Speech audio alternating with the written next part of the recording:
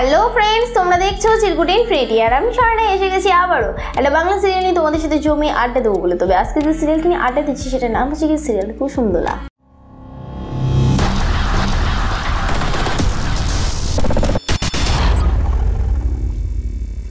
কুসুমদোলা সিরিয়ালটা হয় স্টার জলসায়, আর এটা হয় ঠিক সন্ধ্যে সাতটার সময়। তো যাই হোক বন্ধুরা, এই সিরিয়াল সম্পর্কে এর আগে অনেকগুলো ভিডিও আপলোড করেছি, তোমরা যদি কেউ মিস করে গিয়ে থাকো, তাহলে অবশ্যই করে নিচে ডেসক্রিপশনে দেখো লিঙ্ক আছে লিঙ্কে গিয়ে ক্লিক করো। ক্লিক করলে পৌঁছবে আমাদের আগের ভিডিওতে আর জানতে পারবে আগের ভিডিওতে আমি ঠিক কী বলে এসেছি।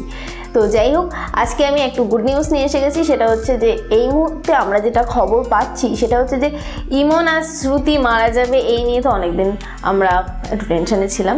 তো এই মুহূর্তে যেটা খবর এসেছে সেটা হচ্ছে যে সিরিয়াল কর্তৃপক্ষ ঠিক এই ধরনের ভাবনা চিন্তা নিয়ে নিয়েছেন যে হয়তো শ্রুতিকেও মারা হবে না, ইমনকেও মারা হবে না।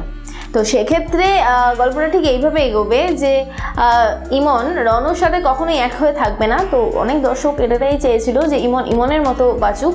তো সেরকমটাই হবে যে, ইমন তার সন্তানকে নিয়ে নেবে এবং নিয়ে সে অনেক দূরে চলে যাবে এবং হয়তো সেটা বিদেশেও হয়ে যেতে পারে এবং বিদেশ যাওয়ার আগে হয়তো রণ তার ভুল বুঝতে পারে, আবার নাও বুঝতে পারে। আর যদি রণ ভুল না বুঝতে পারে, তাহলে হয়তো ইমন বিদেশে চলে যাবে এবং তার সন্তানকে মানুষের মতো মানুষ করে তুলবে এবং তারপরে দেখিয়ে দেওয়া হতে পারে। বেশ কিছুদিন পরে যেই সন্তানকে নিয়ে যাচ্ছে, তারপরে দেখিয়ে দেওয়া হতে পারে যে পাঁচ বছর পরে কিংবা দশ বছর পরে। তো তখন দেখানোই হবে যে ইমনের যে মেয়েটা হয়েছে, সে খুব সুন্দর হয়েছে। তো ইমন তখন আবার নিজের দেশে ফিরে আসবে এমন কলকাতাতে ফিরে আসবে এবং তখন আবার রনর সাথে দেখা হবে এবং রনর পরিবারের সাথে দেখা হবে। তখন হয়তো রন ইমনকে ফিরে পেতে চাইতেও পারে। আবার তখন ইমন ঠিক কীভাবে রিয়্যাক্ট করবে, ইমন তখন ফিরে যাবে কি যাবে না সেগুলো নিয়ে তোমাদের একটুখানি বেশ রমরমা করে গল্পটাকে প্রেজেন্ট করার একটা চিন্তাভাবনা কিন্তু হচ্ছে। তো এটা আদৌ হচ্ছে কিনা মানে কাজে কর্মে হচ্ছে কিনা এটা চিন্তাধারার উপরে তো ডিপেন্ড করা যায় না। তো কাজে কর্মে হচ্ছে কি না সেটা আমি শিওর নই। তবে খুবই ইচ্ছা আছে যে যদি এইরকমভাবে প্রজেক্টটা এগিয়ে যায়, তাহলে আশা করা যাচ্ছে যে কুসুমদোলা সিরিয়ালটা আরও ভালোভাবে জমে উঠবে। তো যাই হোক বন্ধুরা, আজকে এটুকুই ছিল। আর যেটা বলব সেটা হচ্ছে অবশ্যই করে দেখো সিরিয়াল কুসুমদোলা স্টার জলসায় ঠিক সন্ধ্যে সাতটার সময়। আর হ্যাঁ আজকে এত সুন্দর একটা গুড নিউজ দিলাম।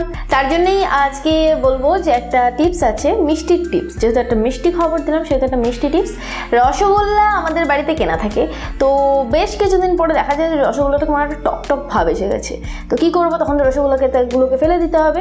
তো এটার একটা উপায় আছে, সেটা হচ্ছে যে যদি তোমাদের কাছে রসগোল্লার সাথে রসগোল্লার রস থাকে, তাহলে তোমাদের সোনায় সোহাগা। সেই রসটার মধ্যে রসগোল্লাগুলোকে দিয়ে দাও, দিয়ে ভালো করে সেটাকে ফোটাও দশ পনেরো মিনিট ধরে এবং তারপরে নামিয়ে রেখে ঠান্ডা হতে দাও।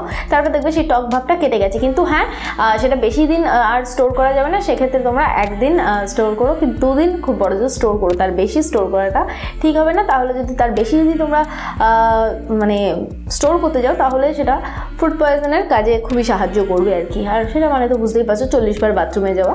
তো যাই হোক, এটা ছিল আজকে সুন্দর একটা মিষ্টি টিপস আর যেটা বলব, সেটা হচ্ছে আমার এই গোটা ভিডিওটা আর এই নিউজটা যদি ভালো লেগে থাকে, তাহলে অবশ্যই করে লাইক করো। আর যেটা করবে, সেটা হচ্ছে সুন্দর সুন্দর করে কমেন্ট করো। আমি জানি কুসুম দোলায় খুব সুন্দর সুন্দর করে সবাই কমেন্ট করছ। আর যেটা বলব, সেটা হচ্ছে শেয়ার করে, পারলে সমস্ত বন্ধু বান্ধবকে এই গুড নিউজটা জানতে সাহায্য করো। আর যেটা করবে সেটা হচ্ছে বাংলা সিরিয়ালের এরকম সুন্দর সুন্দর খবর পেতে আর এরকম সুন্দর সুন্দর টিপস পেতে অবশ্যই করে সাবস্ক্রাইব করো চিরকুট ইনফিনিটিকে আর তার পাশে বেল বাটন অবশ্যই করে ক্লিক করো। আমার ভিডিও সবার ফার্স্টে পাওয়ার জন্য। আমি গিয়ে আরেকটা সিরিয়ালের খবর নিয়ে আসি। ততক্ষণের জন্য টাটা।